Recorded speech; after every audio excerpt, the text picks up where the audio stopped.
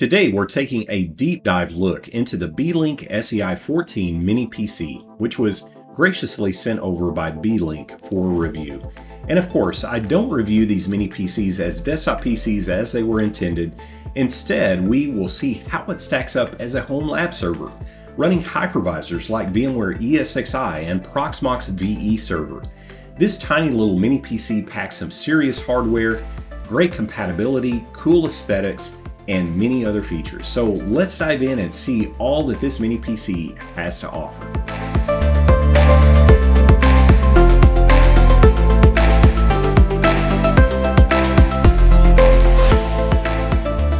Also, before we dive in, I wanted to let you know that I will be announcing the winner of the Minisforum MS A1 PC at the end of this video. Very exciting. So definitely you'll want to stick around for that. The Beelink SEI 14 mini PC comes with some really impressive specs. It's powered by a 12th gen Intel Core Ultra 5 125H processor. It's a mouthful that has 14 cores and 18 threads. And honestly, this is the first of the Core Ultra processors that I have had my hands on as a home lab server. Alongside that, we also have the Intel Arc graphics configuration in this mini PC, support for 96 gigs of DDR5 memory, dual M.2 slots with a max of 8 terabytes of NVMe storage with 4 terabytes per M.2 slot. And for connectivity, there's a 2.5 gig Intel network adapter. Thank you, Beelink, for the Intel. USB-C connectivity, Thunderbolt 4, USB-A 3.2 ports at 10 gig, DisplayPort, HDMI port, and more. Now getting into how this unit came, it was packed nicely from Beelink, and the build quality feels very solid. It reminds me in the look and feel of a Mac Mini, and we know Apple does really well with packaging and configuring their hardware to be sleek, sound, and aesthetically pleasing. On the backside of the unit, we've got a range of ports, including a USB-C port, USB-A, 2.5 gigabit Ethernet, DisplayPort, and HDMI port. The front has more USB ports and an audio jack aside from the power button. Now, looking at the internals on this unit is fairly easy, although it would be great to see more units like the Beelink mini PCs that have a more toolless design. After removing the rubber stoppers that cover the screws on the bottom, we can remove the screws and the bottom plate.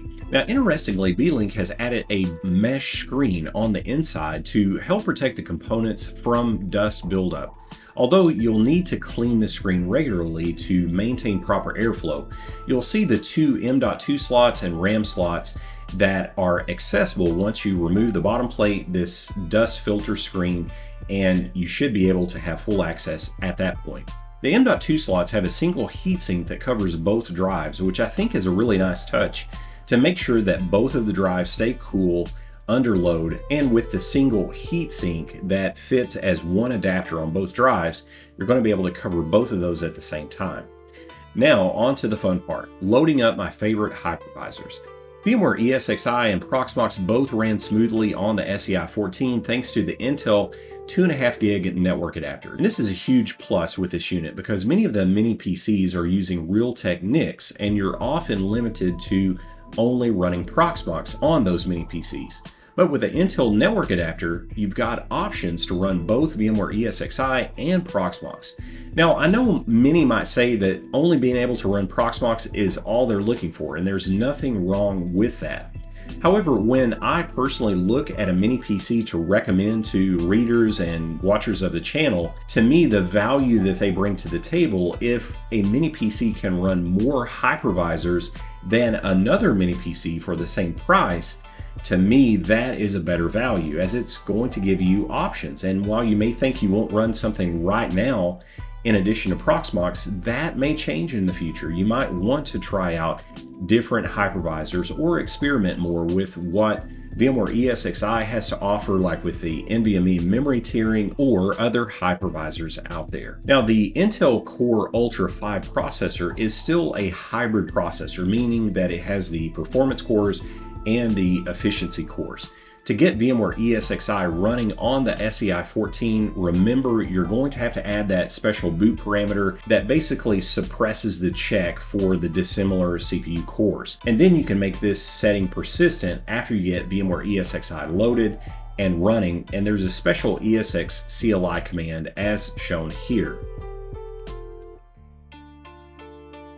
Proxmox, of course, didn't require anything to get up and running using the non-uniform CPUs, and there were no issues installing it and running virtual machines. And I think that is a great testament to really how far along Proxmox has come and what a mature hypervisor it really is and why so many are using it in the home lab.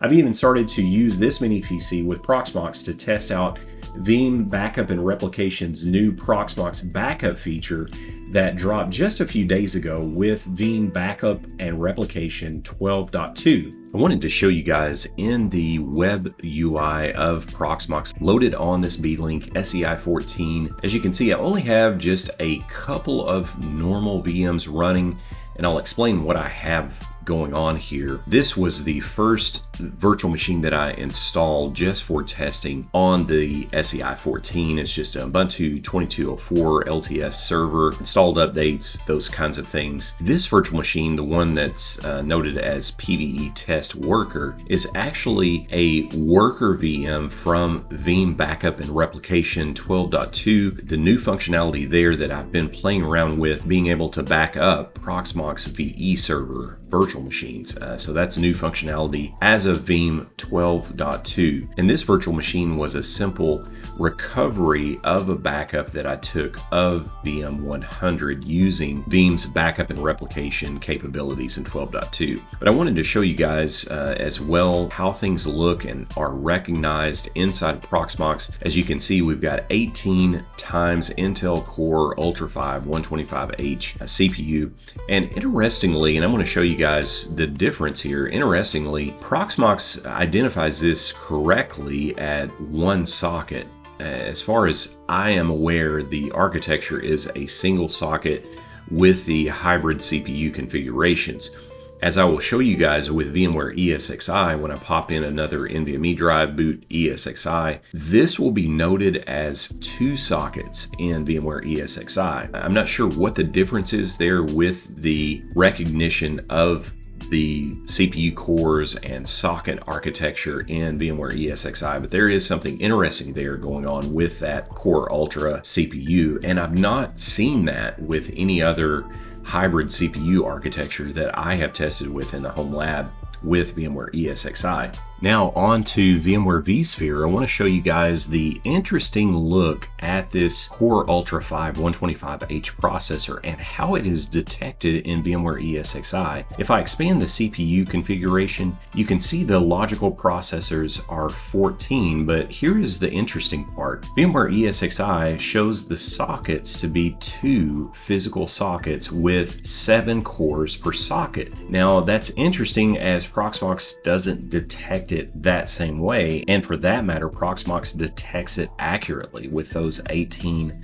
logical threads. And we see in VMware vSphere, we've got the 14 cores with two sockets and seven cores per socket. And I'm to show the screenshot of this in the next section of this video, but another interesting thing is with VMware ESXi, I'm seeing double the power consumption at idle that I am seeing in Proxmox. Instead of 15 watts with Proxmox sitting idling, I'm seeing 33 to 34 watts with VMware ESXi. Extremely interesting. I've never seen this disparity with power consumption and the way that these hybrid processors processors are detected between Proxmox and VMware ESXi. However, again, this is the first Core Ultra CPU that I have tested in a mini PC. So I wanted to show you guys this interesting difference between the hypervisors as well as that power consumption anomaly with VMware ESXi. Now also on power consumption, I ran some power consumption tests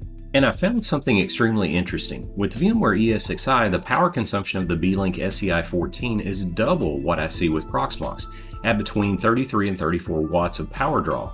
Contrast that with Proxmox idle power consumption, and I'm seeing around 14 to 15 watts power draw. Now, Proxmox has half the power draw at idle.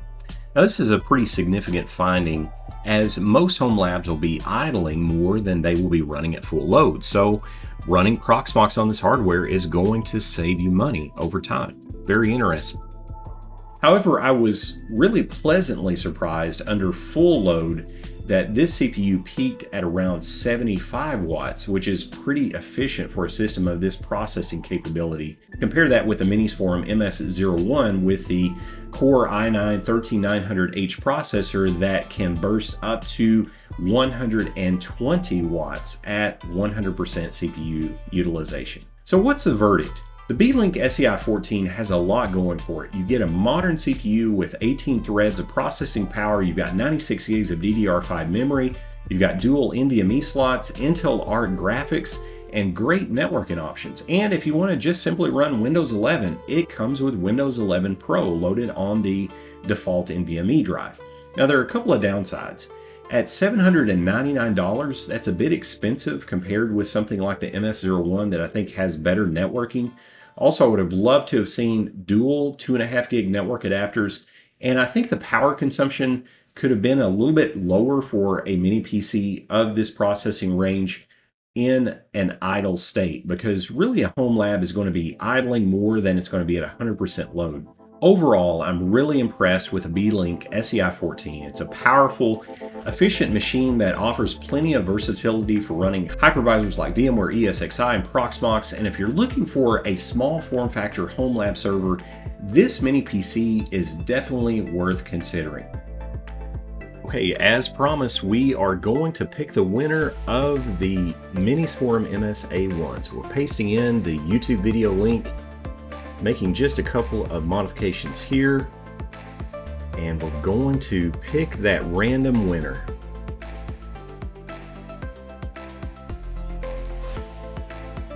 Okay, the comments are loaded. Let's pick a winner. Jeremy Hancock has won the Minisforum MS A1. Congratulations, Jeremy. Jeremy, I want to have you reach out to me on Discord and I'm going to have that link on the video description. So join the server and reach out to me for us to sync up. Well, if you found this review helpful, make sure to give this video a thumbs up. Be sure to subscribe to the channel for more home lab content, technical how-tos, and just cool stuff. Be sure to check out the virtualization how-to written blog as well as my other written project, Tek2Cloud, as I'm posting a lot of really cool things out there. And in fact, a lot of the blog posts that I post at Virtualization How To, Tek2Cloud, and other written resources are the source of a lot of the videos that you see on YouTube. So be sure to check out those written resources that I maintain each and every day. Well, thanks for watching. Do stay safe out there, keep on home labbing, and I will see you guys in the next one.